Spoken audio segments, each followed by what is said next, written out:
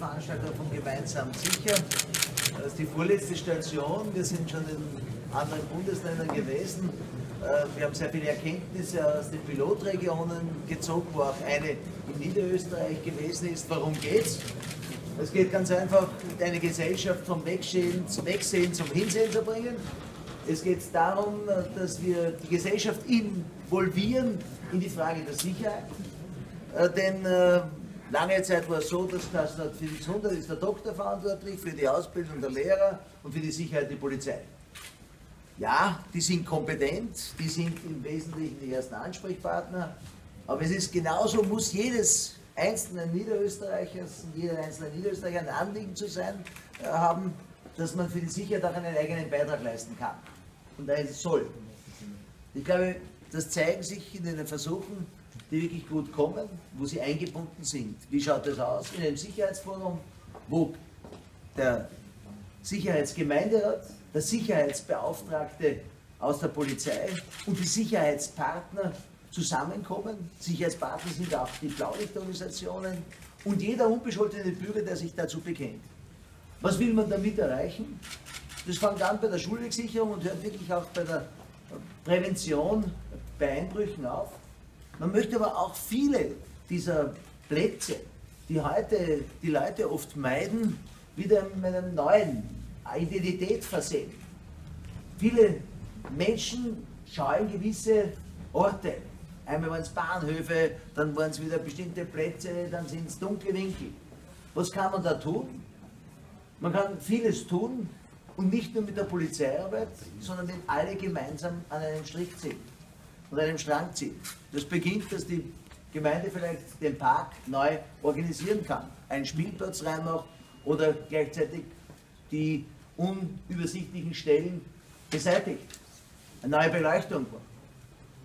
Das kann sein, dass sie mit Sozialarbeitern dort auftritt, um jene Jugendlichen, die sich dort vielleicht nicht ordnungsmäßig dort aufhalten und konform aufhalten, auch zu betreuen, zu begleiten. Es kann sein, dass die Nachbarn auch hier das beobachten, was hier passiert. Und es kann vor allem die Polizei sein, die da mehr bestreift. Und dann wird sich dort auch das Sicherheitsgefühl wieder heben.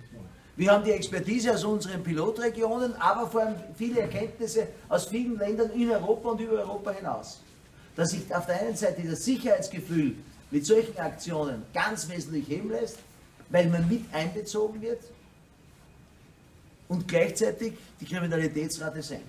Wir haben eine kuriose Situation. Es gibt ein Bundesland, da haben wir die höchste Anzahl an Polizisten pro Kopf.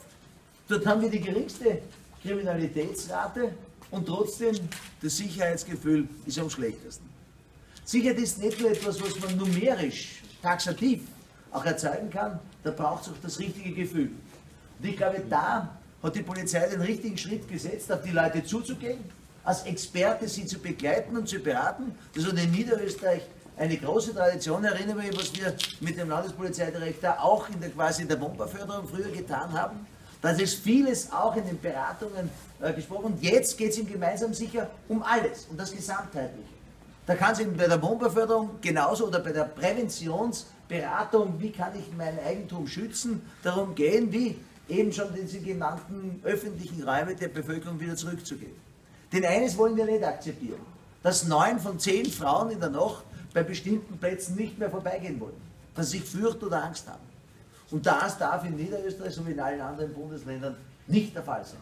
Und da soll die Aktion gemeinsam sicher eine wirksame, eine wirklich auch breit angelegte Aktion sein. Und so wünsche ich mir von den Gemeinden, dass sie ihre Sicherheitsgemeinderäte nominieren und wir sie einladen können zum gemeinsamen Sicherheitsforum dass wir auch wirklich in der Lage sind, hier zu einer Sicherheit, die schon sehr hoch ist im Vergleich zum europäischen äh, Schnitt, dass wir dort noch weiterhin zulegen können. Fragen? Die Erfahrungen aus dem Pilotprojekt? Sind sehr, sehr, sehr erfolgreich. Gestern war es eine Delegation von Bürgerinnen und Bürgern aus Scherding, ist ein Bezirk Scherding da, die also im persönlichen Gespräch gesagt haben, erstens mal fühlen sie sich besser verstanden, zweitens haben sie mit wertvollen Hinweisen auch in der Gemeinde Veränderungen herbeigebracht.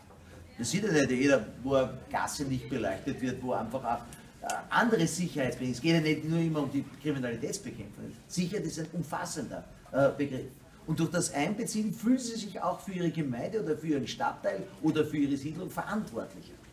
Die Erfahrungen seitens der Exekutive, was sagen die Beamten? Ist das mehr Aufwand, ist das weniger Aufwand? Kann Allalong wird es ein geringerer Aufwand, wenn die Kriminalitätsrate sinkt. Am Anfang ist es sicherlich so, dass wir auf der einen Seite durch Schulung äh, unserer Leute wirklich vor Ort, aber auch mit personellen, Kapazitäten an den Bezirkskommanden natürlich auch etwas einbringen müssen. Aber allalong wird es sicherlich äh, zu einer Entlastung kommen, auch zu einer mentalen Entlastung.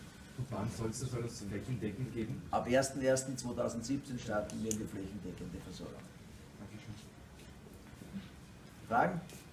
Danke. Danke sehr. Wenn keine Fragen mehr sind, ich glaube, links, Haben wir. ja. Sehr gut. Danke sehr. Aber herzlichst eingeladen.